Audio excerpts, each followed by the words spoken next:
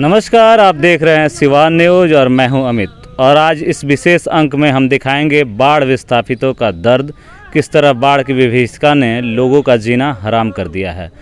लोग इस बाढ़ की विभीषिका से दो चार हो रहे हैं और ये क्षेत्र है गुरियाकोठी विधानसभा क्षेत्र का खुशहाल डुमरी, जहाँ पे बाढ़ इस कदर तबाही मचाया है कि लोग दर दर भटकने के लिए मजबूर हैं। आप देख सकते हैं तस्वीरों में किस तरह बाढ़ का पानी लोगों के घरों में घुस चुका है और लोग घर छोड़कर पलायन कर चुके हैं। यहाँ पर हम आपको दिखा रहे हैं तस्वीर किस तरह इस घर में बाढ़ का पानी कमर भर घुस चुका है, जिसके बाद इस घर को बंद करके इस घर के लोग नहर पे ज़िंदगी बसर करने के लिए मजबूर हैं। अब आपको हम दिखाते हैं किस तरह लोग इस बाढ़ से निकलने की जद्दोजहद कर रहे हैं। आप देख सकते हैं तस्वीरों में कैसे कमर भर पानी बह रहा है और हम भी अभी पानी में ही खड़े हुए हैं। सरकार लाख दावे करती है कि हमने अच्छा अच्छा अच्छा शासन दिया है। लोगों को बहुत सारी सुविधाएँ मिल रही है। सुशासन की सरकार है। नीतीश कुमार सुशासन का दम भरते हैं। लेकिन जब हकीकत जब कोई आपदा आती है तो सुशासन की पोल खुल जाती है। आप देख सकते हैं कैसे सुशासन की पोल खुल रही है और ये पानी सड़कों पे सड़कों पे जा रहा है। आइए आइए मेरे साथ एक आदमी है। था बड़ी एक आदमी है जो अभी निकलने की जद्दोजहद कर रहे थे और इस बाढ़ के पानी में गिर गए हैं। हमने इन्हें बचाया है। बात करते हैं इनसे। अब अपना हाँ नाम बताइए। लाल बहादुर। कब से ये बाढ़ आई हुई है? दस दिन हो गया। दस दिन हो गया। हाँ हाँ।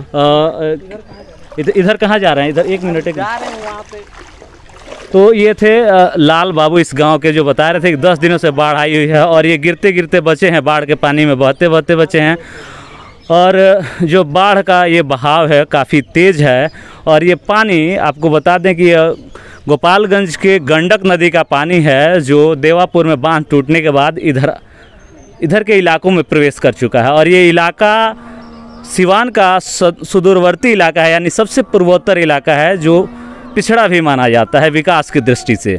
और यहाँ के जनप्रतिनिधि, यहाँ के, यहाँ प्रशासन की तरफ़ से लोगों का कहना है कोई व्यवस्था नहीं है, बस एक नाव की व्यवस्था है जिससे लोगों को निकाला जा रहा है। अब देख सकते हैं तस्वीरों में कैसे लोग पानी से निकलने की जद्दोजहद कर रहे हैं। एक चाचा हैं जो अभी तस्वीरों में आपको दिख रहे होंगे जो बाँस के सहारे पानी से निकलने की कोशिश कर रहे हैं और पानी उनके कमर के ऊपर तक जा रहा है। और ये सोचने वाली बात है कि सरकार सुशासन का दम भरती है, लेकिन जब कोई आपदा आती है तो धरातल पर बिल्कुल फेल्योर दिखती है सरकार, क्योंकि जब भी बाढ़ हो या फिर अभी चल रहा कोरोना महामारी हो, जिसमें सरकार की बद इंतज़ाम इंतजामी और उसकी व्यवस्था का काला चिट्ठा खुलता हुआ दिखाई देता है। ये जो इलाका है, यहाँ पर लोग अच्छी खासी जीवन बसर कर रहे थे, जीवन जी रहे थे, लेकिन अचानक आए बाढ़ ने सभी के आशियाने उजाड़ दिए हैं। लोग छतों पे फंसे हुए हैं, लोग घरों के छतों पे फंसे हुए हैं। उनको नावों द्वारा, बोटों द्वारा निकाला जा रहा है और ये जो बाढ़ विस्थापित हैं, वो नहरों पे नारकीय ज़िंदगी जीने के लिए विवश हैं। हम आपको वो भी दिखाएँगे कि कैसे लोग नहर पे ज़िंदगी नारकीय जीवन जी, जी रहे हैं ना जहाँ ना खाने के का ठीक है ना पीने के साफ़ पानी की व्यवस्था है। लोग जैसे तैसे दिन काट रहे हैं और बाढ़ को ख़त्म होने का इंतज़ार कर रहे हैं। हालाँकि बाढ़ आए हुए तीन से चार रोज़ ही हुआ और देखिए यहाँ पर जो रोड है ये अभी जिस सड़क जिस सड़क पर हम खड़े हैं ये पीच सड़क है और इस पर पानी का बहाव इतना है कि ये सड़क कट गया है। और लोग लोग टापू पर जीने के लिए विवश हैं। ये पूरा इलाका, ये पूरा गाँव और ये पूरा मोहल्ला टापू बन गया है। टापू सा नज़ारा है। आप देख सकते हैं तस्वीरों में साफ़ साफ़ किस तरह ये टापू बना हुआ है। ये जो चाचा थे, वो आने का प्रयास कर रहे थे, लेकिन ये धारा इतनी तेज़ है, ये पानी का बहाव इतना तेज़ है कि उन्हें वापस लौटना पड़ा। और जो यहाँ के कुछ युवा हैं जो बच्चे हैं वो भी लगातार पानी में हैं और निकलने की कोशिश कर रहे हैं। लोग अपने घरों में फंसे हुए हैं। लोगों लोगों को कि, किसी के सहारे की ज़रूरत है लेकिन यहाँ सहारा देने वाला कोई नहीं है। प्रशासन लाख दावे करती है कि हम आपदा से निपटने की कोशिश कर रहे हैं लेकिन ये तस्वीरें उसकी पोल खोलने के लिए काफ़ी है। गाँव के लोग नाव की मांग कर रहे हैं, लेकिन प्रशासन द्वारा मात्र एक नाव दिया गया है और इधर तीन चार पंचायत बाढ़ की पानी में डूबा हुआ है। लोग लगातार अभी मैं यहाँ से जब स्टोरी कर रहा हूँ तो मेरे पीछे लोग चिल्ला रहे हैं कि हमें नाव नहीं मिला है। और नाव के लिए प्रशासन से दूर से ही आवाज़ लगा रहे हैं, क्योंकि वे इधर नहीं आ सकते हैं, क्योंकि पानी का बहाव काफ़ी तेज़ है। आप तस्वीरों में आपने तस्वीरों में साफ़ साफ़ देखा। आइए बात करते हैं इस, इस बाबू से आओ। क्या नाम है तुम्हारा? आज़ाद अली। कब से ये बाढ़ आई हुई है? पच्चीस तारीख से आई हुई है बाढ़। इसके पहले भी अपने जीवन में कभी बाढ़ देखा था? जी नहीं देखा था। नहीं देखा थे। पहली बार पहली बार देखे। पहली बार इतना पानी आया। जी। घर कहाँ है तुम्हारा? यहीं पे वो पास में है पास में ही घर है तुम्हारा।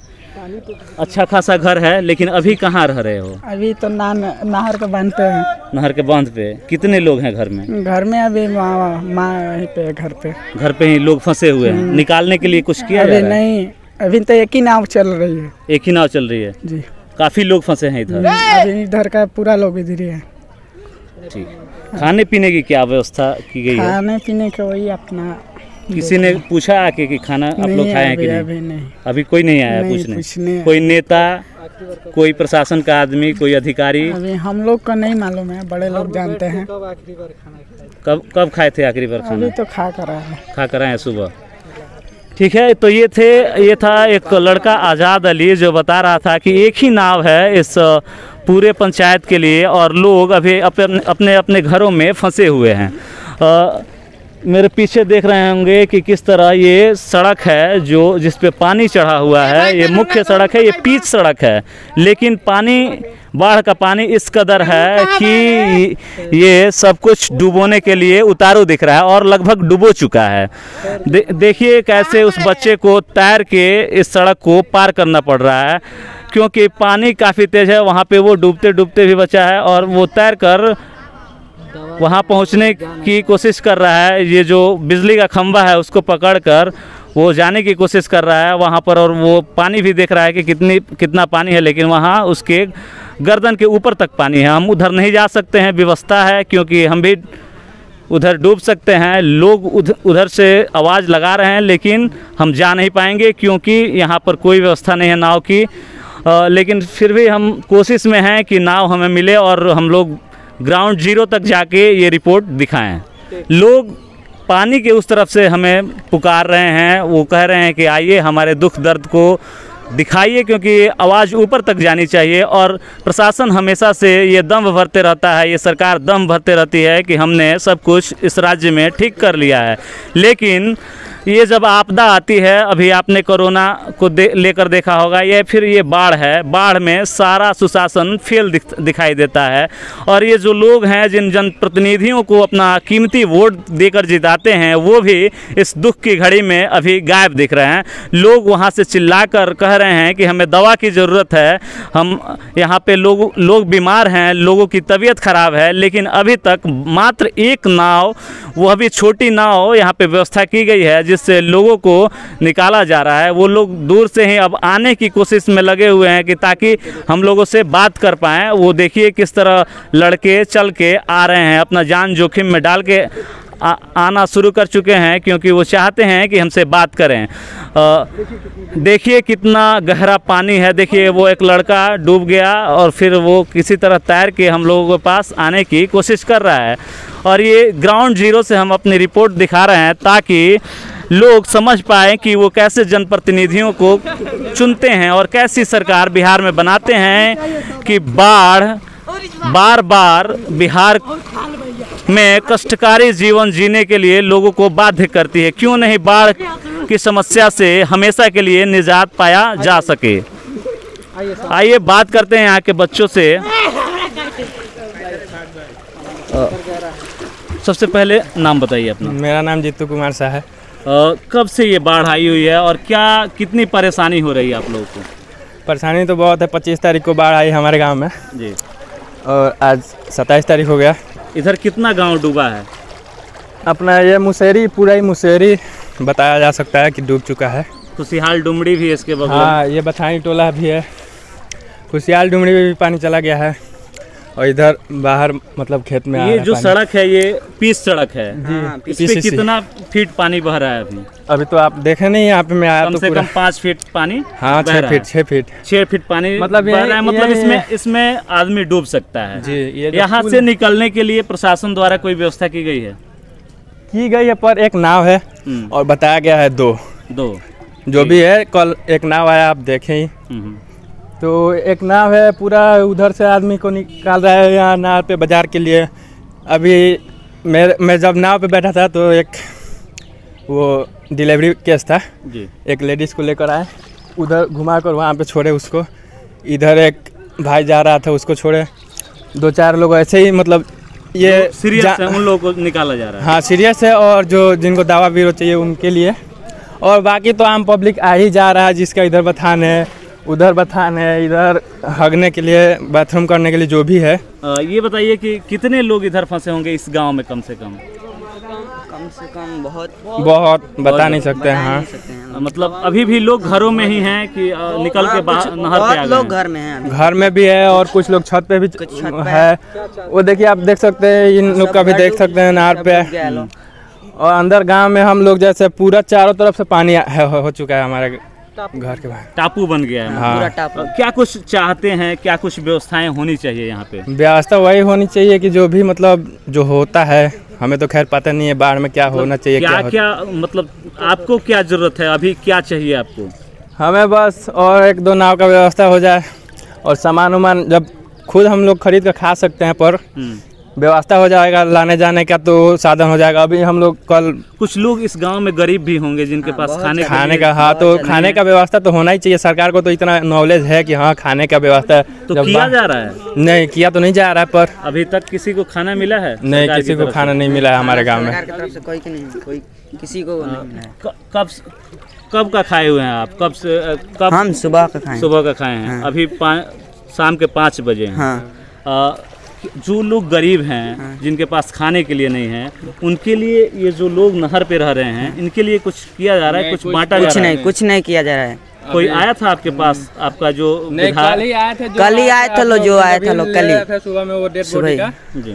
वही कल ही आए थे लोग कल ही आए थे हाँ। आज कोई नहीं आया है पूछने की कौन खाया है नहीं नहीं नहीं नहीं कोई नहीं आया कोई नहीं आया। हम इस गाँव के बच्चों से बात कर रहे थे जो यहाँ की हकीकत बयां कर रहे हैं कि कैसे यहाँ पर दो नाव की घोषणा की गई कि यहाँ पर दो नाव अवेलेबल कराया जाएगा प्रशासन द्वारा, लेकिन एक ही नाव यहाँ पर उपलब्ध कराई गई, जिसके बाद यहाँ से लोगों को निकालने का सिलसिला काफ़ी धीमा है। लोग चाहते हैं कि उन्हें निकाल कर सुरक्षित स्थानों पर ले जाया जाए और उन्हें खाने पीने की भी व्यवस्था दी जाए।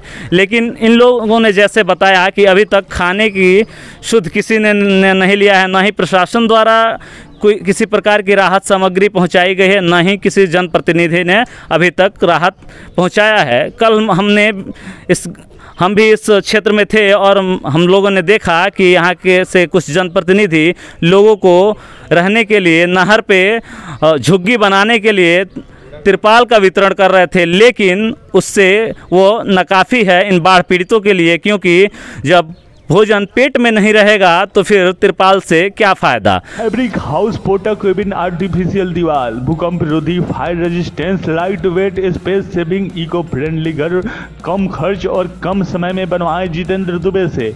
बड़ा से बड़ा हॉल बिना पिलर के तैयार मात्र पंद्रह दिनों में।